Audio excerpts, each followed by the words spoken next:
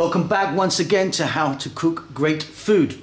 Chicken kebab. We're gonna make some fantastic chicken kebabs that we're gonna cook indoors on the, on the cooker, no need for a barbecue. So they're really delicious, very simple. Let's go and take a look at the ingredients that we need. Okay, let's jump in and take a look at this. Very, very simple. And before I get started, all of the amounts of the ingredients are gonna be in the text below for you to look at. So we've got some chicken breast here cut into nice cubes, no skin, no bone. If you want, you could use chicken thigh. I'm using breast. We've got lemon juice and olive oil, equal parts, salt and pepper, and then we've got equal parts here of chili powder, turmeric and cumin, chopped garlic, that's about it. Now look, I'm using these things. I'm using bamboo sticks. If you're gonna use bamboo or wooden sticks, what you need to do is get them soaked in water for at least a couple of hours. Otherwise they're just gonna set fire you know, very, very easily. I mean, we're going to do these on the stove top, but yeah, they can still set fire. If you're using metal, of course, nothing to do with you, is it? So that's it. Let's get moving. So, absolutely nothing to it. Mixing bowl, got our chicken in there. We're going to add our salt and our pepper. We're going to add our garlic, chopped garlic. We're going to add our spices, that's turmeric, chili and cumin. And then we're going to add our olive oil and equal parts of lemon juice. I'm to give that a mix. Now what you want to do is get some shrink wrap on this plastic wrap. Minimum two hours in the fridge. Overnight, you're a star. Yeah, overnight it'll be great, but minimum two hours really.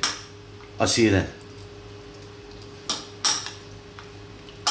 So while our chicken is doing its thing, check this out. I'm just to add these vegetables to the skewers as well. So I've got some zucchini, courgette or kusa, whatever you call that. I've got some eggplant or aubergine or brinjal, again, whatever you call that, bell peppers and onion. You could be putting on like mushrooms and things like that if you wanted or tomato. I'm just going to go with these four. So marinated chicken is done.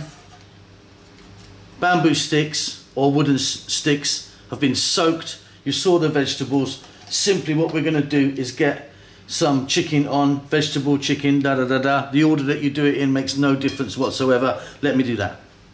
So there you go. So I've got one, two, three, four very hefty ones.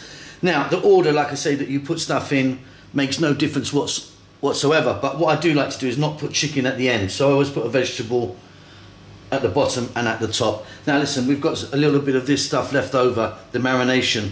What we're going to do, as soon as they go on, we're going to put this marination onto the vegetables, just brush it over, just to kind of give it a little bit of extra love.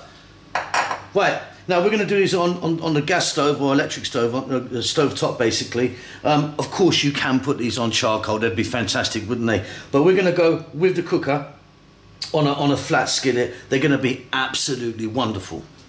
Okay, so I'm at my cooker. As you may know, I've got a gas cooker and I've got this flat plate. You can do this on, on, on, anything really. If you've got a big frying pan, it will work the same. I just like to use this. So I've got the heat on. We're going to drop these on.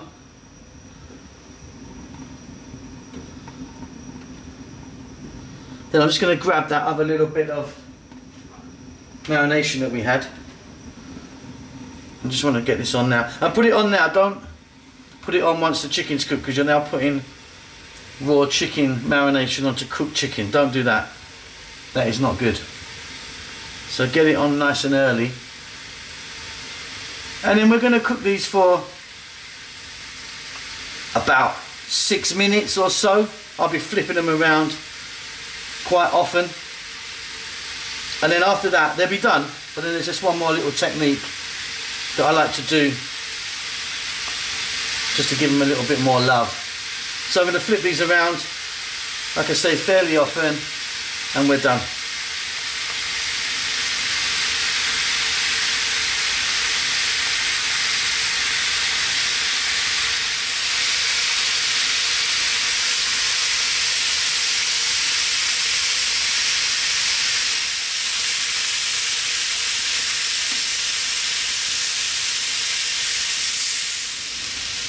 Okay, so off goes the heat. They're done. They're absolutely beautiful.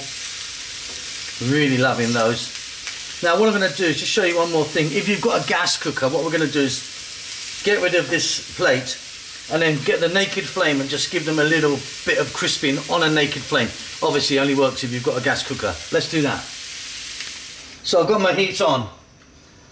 And we're just gonna do this for few seconds, you know, like sort of 30 seconds on each kebab.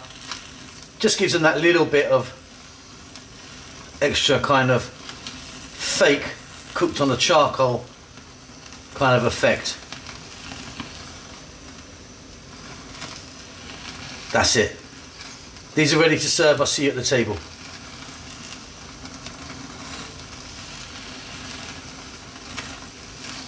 Okay, so there you go. Don't they look absolutely fabulous? I've served them on some pita bread or kubus, whatever you call that. Little bit of tomato, olive, cucumber, parsley, some slices of lime.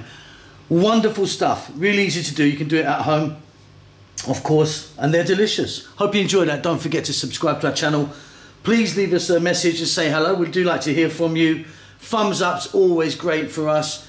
And that's it. Take care. Lots of love.